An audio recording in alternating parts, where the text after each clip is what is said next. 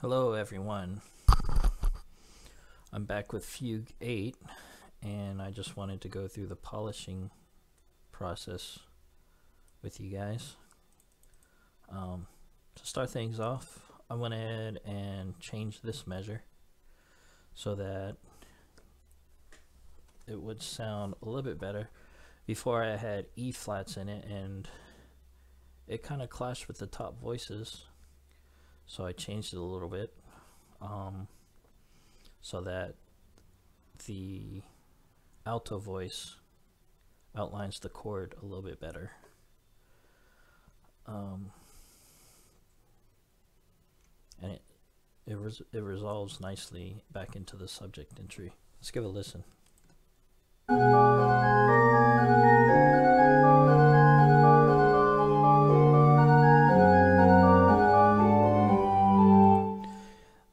It sounds so dissonant is actually because it's very closely related to the altered or the augmented scale.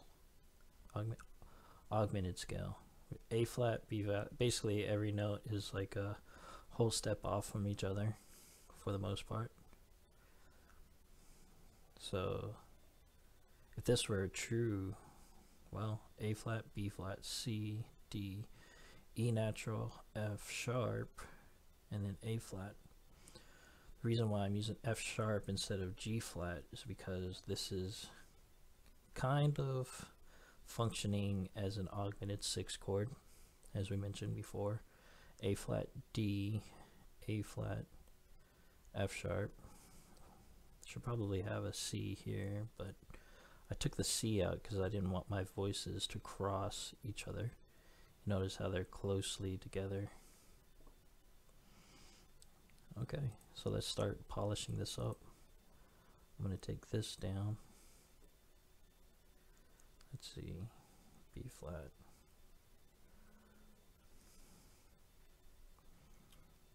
Maybe I'm not going to take that down. I'm trying to avoid repeated notes too.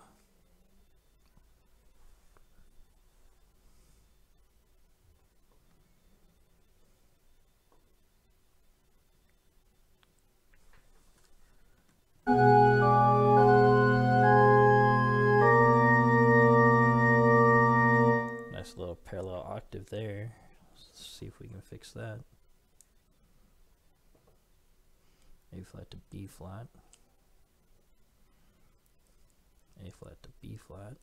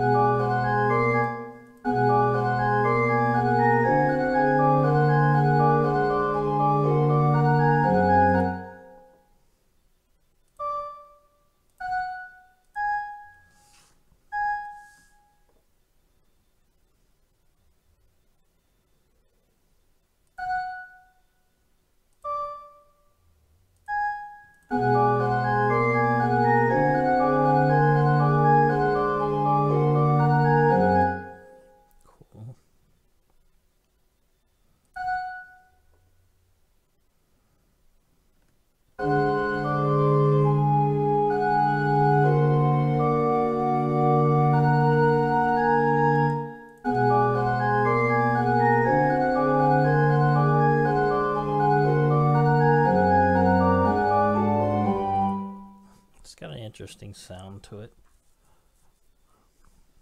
Hmm.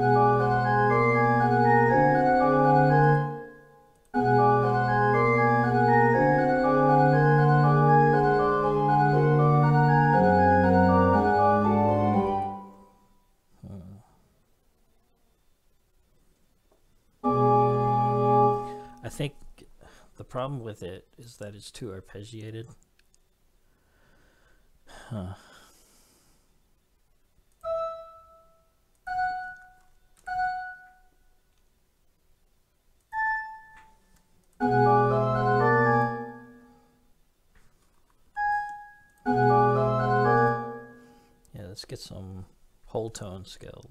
That's the word I'm looking for. Whole tone scale, augmented scale, whole tone scale, and augmented scale. Um,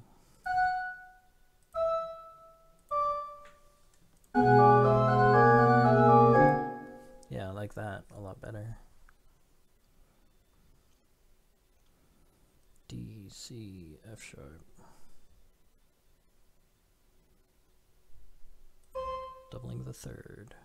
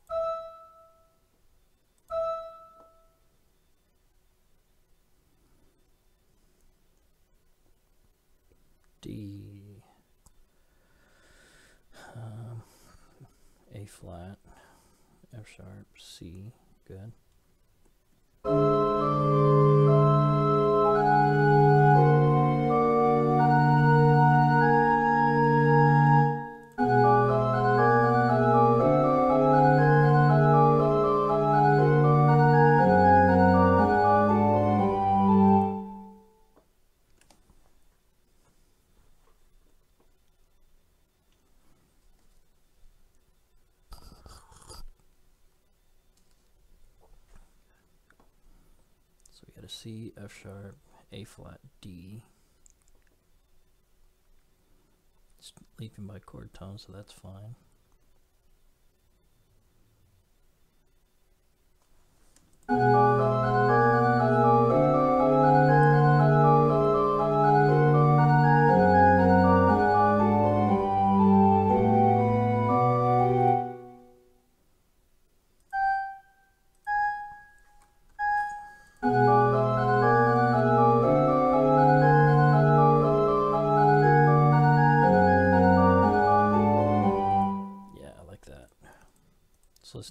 Context.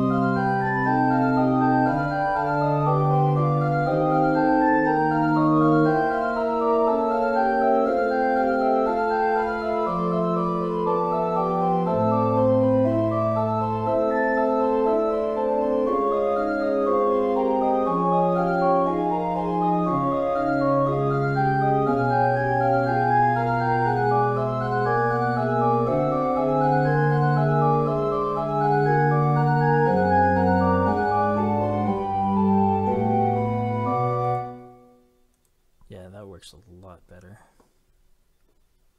I kind of want to hear it go up to there. It's bad on the voicing though.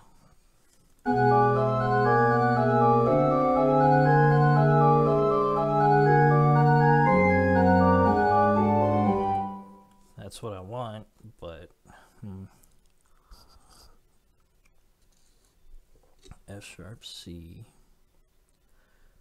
Guess we need a root here.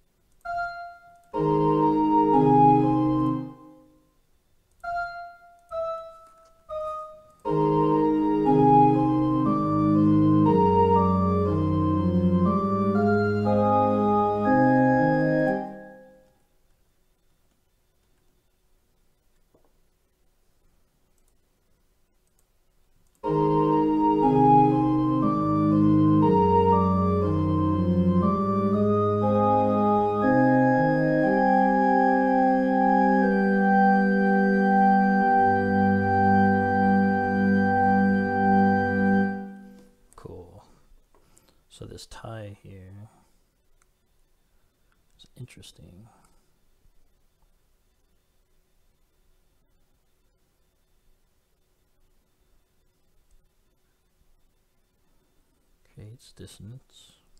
Not really. It just sounds cool by itself.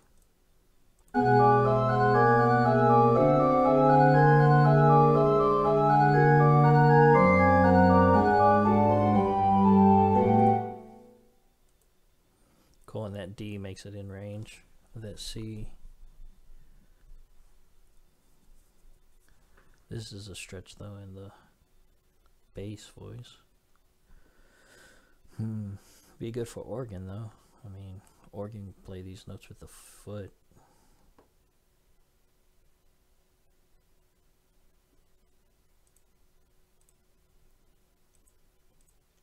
All that sounds good. I definitely need to fix this here.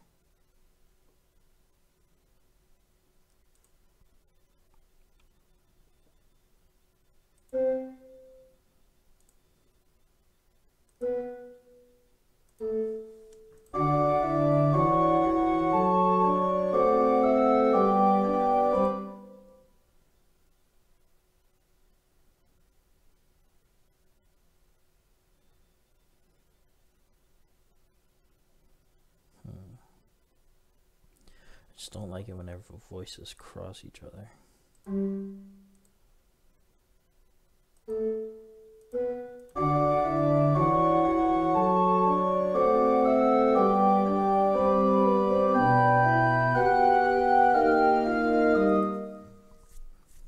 Cool.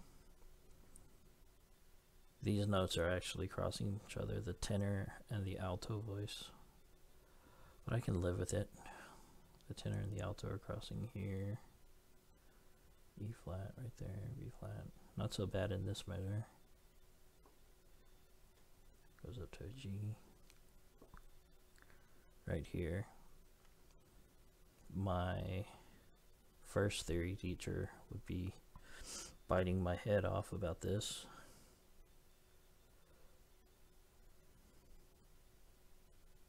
D. Because this F sharp goes above this D right here. But that's easy to adjust if you're a performer. At least I think so. Just roll with it. Got to be versatile and flexible.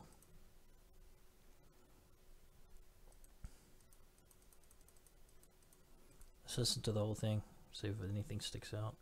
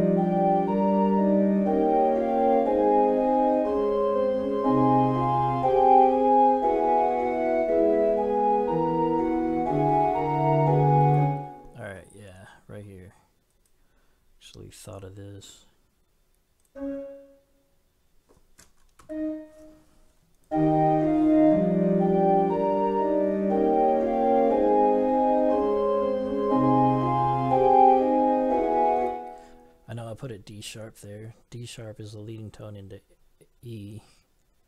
But this is an A flat chord. I could use an E flat, but E flat to E natural is, is kind of a doozy because flats want to go down, sharps want to go up. So I changed this to a D sharp to kind of fit into that idea. I could have used an E flat, but E flats to E naturals are confusing.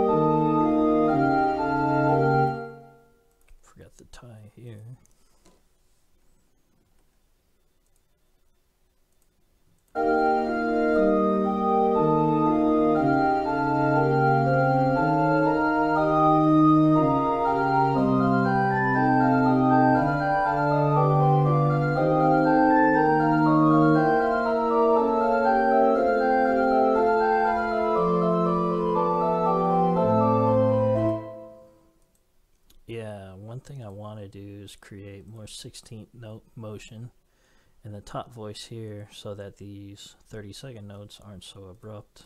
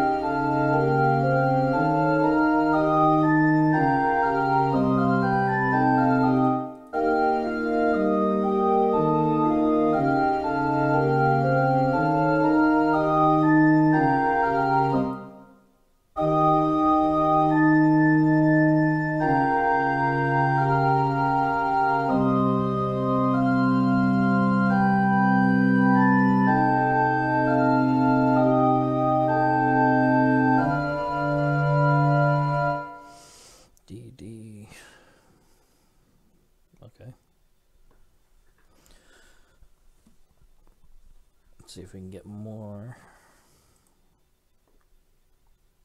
Reason why I put the A there in Lydian, I consider it a fourth chord tone. Many would disagree, maybe, But I think in Lydian, since that note is a feature of the scale, I think it could be a chord tone.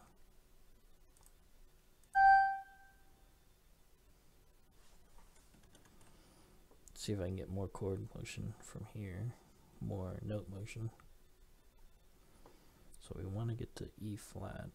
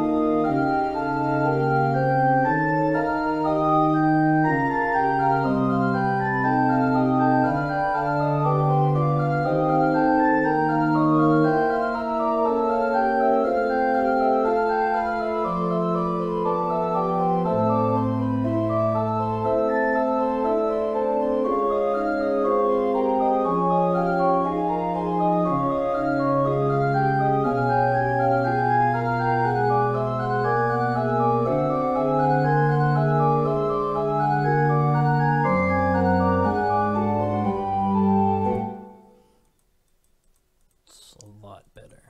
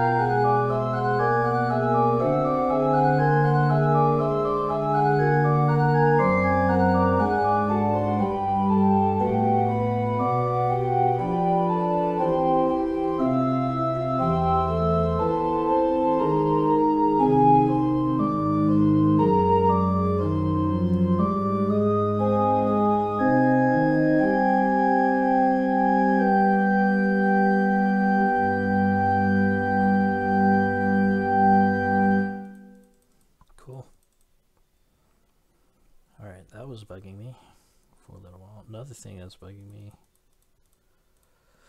So this measure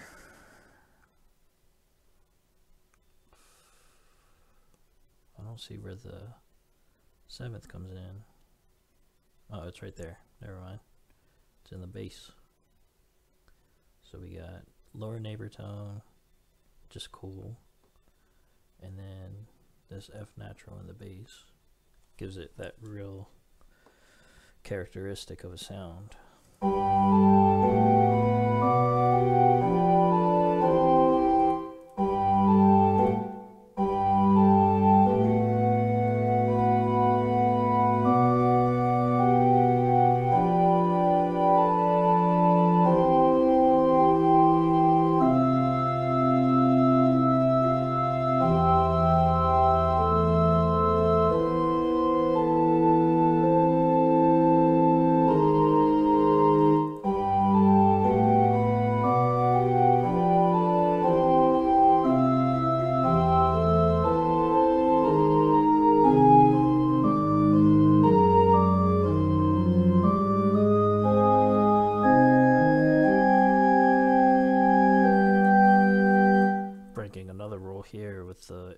16th note tied to an 8th note. Usually you want to tie notes with the same value, same rhythmic value. But in a piece, I at least try to break one or two rules. Maybe more. I also have a threshold for parallel octaves and parallel fifths, which I managed to accomplish in this piece. Not too many, but I think the parallel fifth that we included in this piece is okay, because like I said, the parallel fifth that is resolved is a non-chord tone, so I think that works.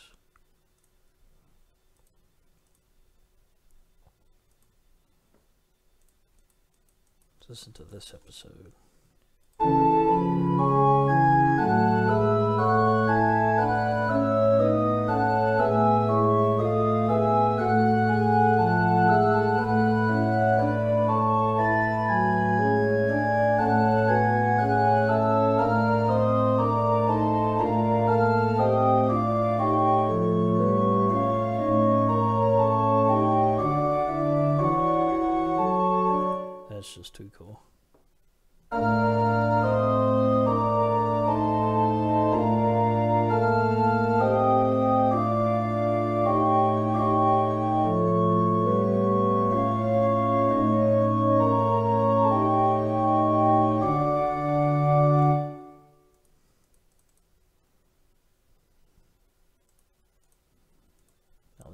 This episode.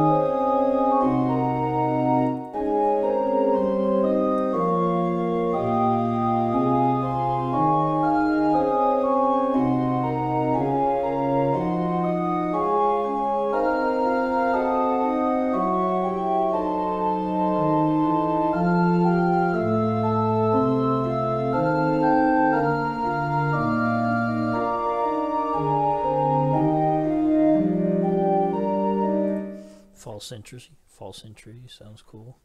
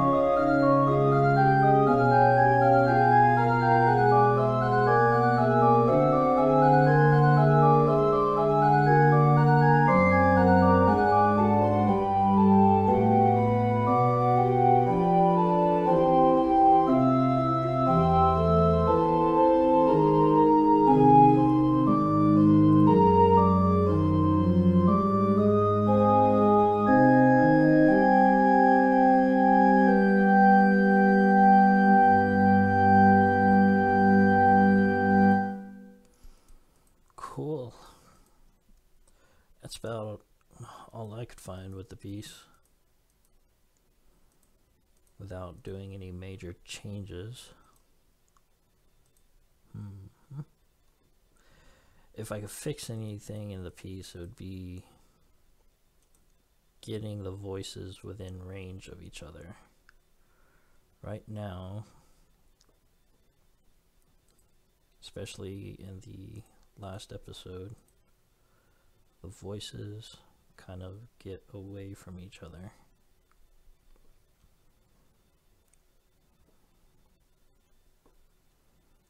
And I like it too much to change it.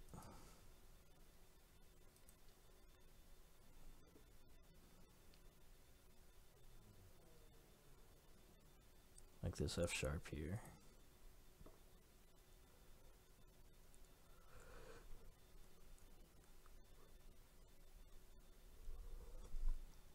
That's a reach. F sharp. Yeah, that's a reach. It's out of range of the right hand too.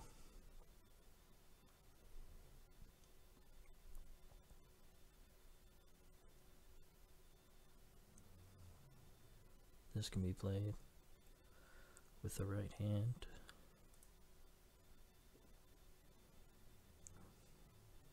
This looks good.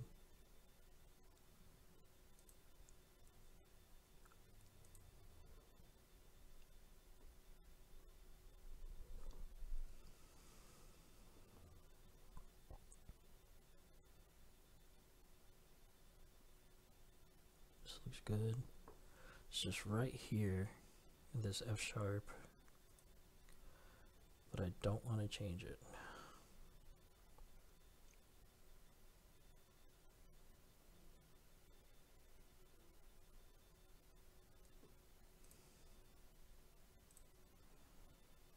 That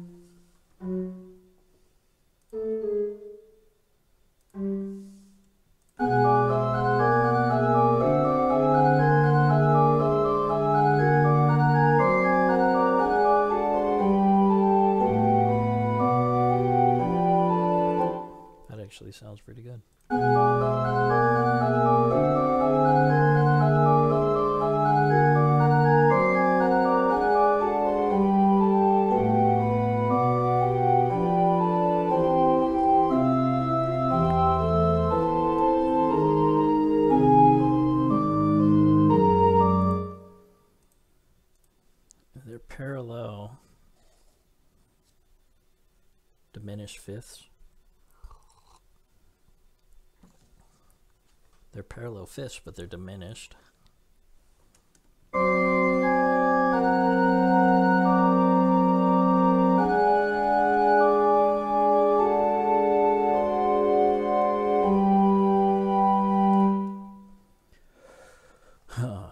so parallel diminished is okay, I remember, but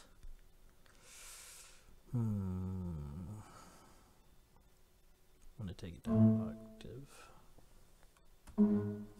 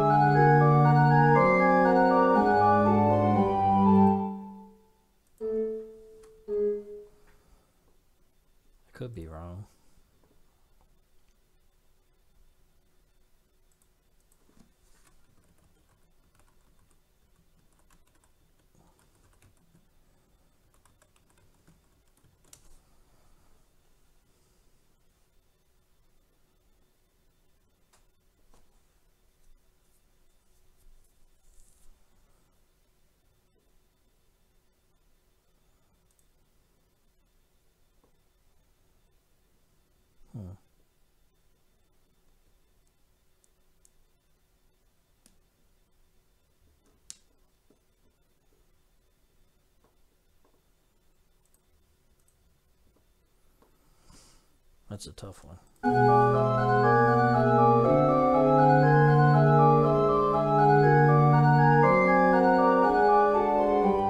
Sounds fine.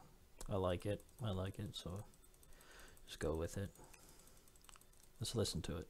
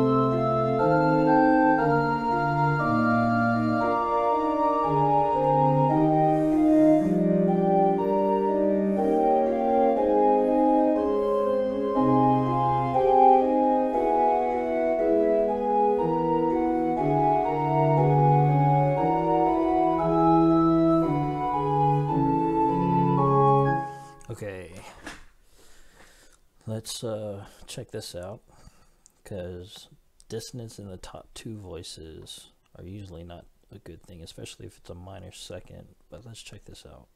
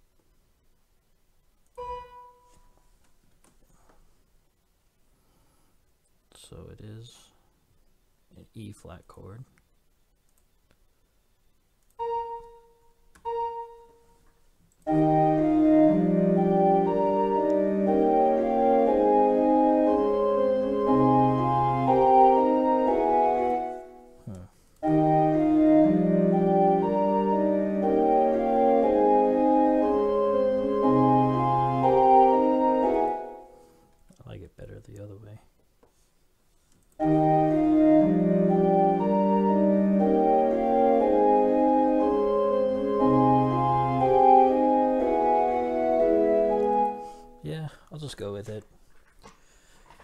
Let's see, it is a minor second distance, but it goes by so much faster than you think that the ear can't really make sense of it in time, I guess. And I think it sounds better than having a B flat there. Personally.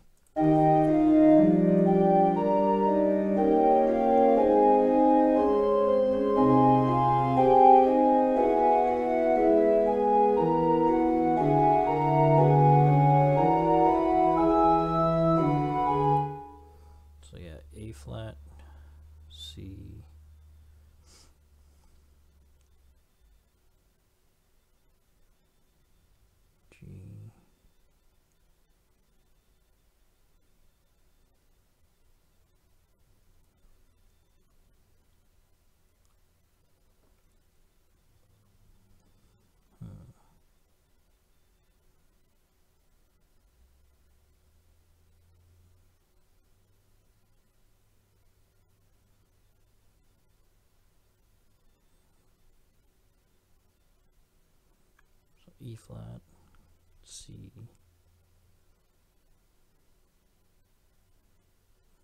A flat.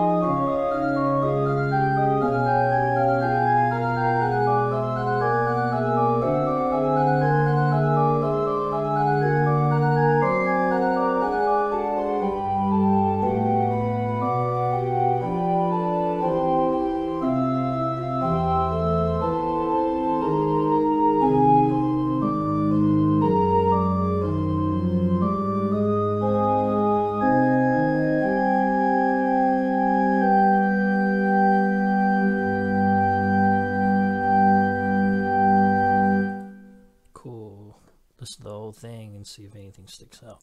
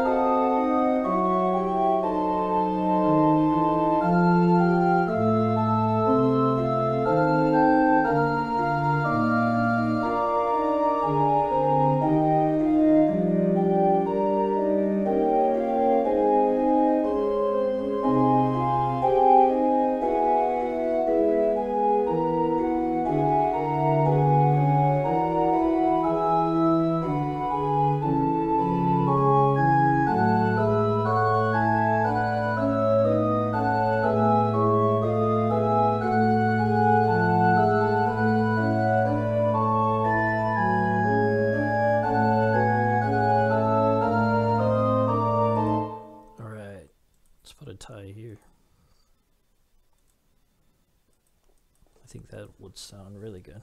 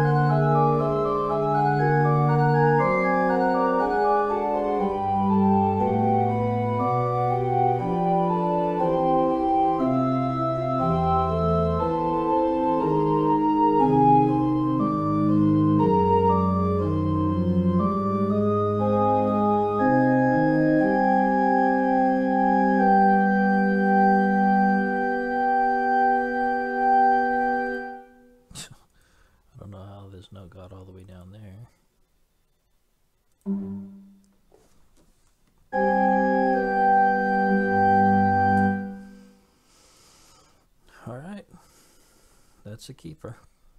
Thanks for listening, guys. Have a good night.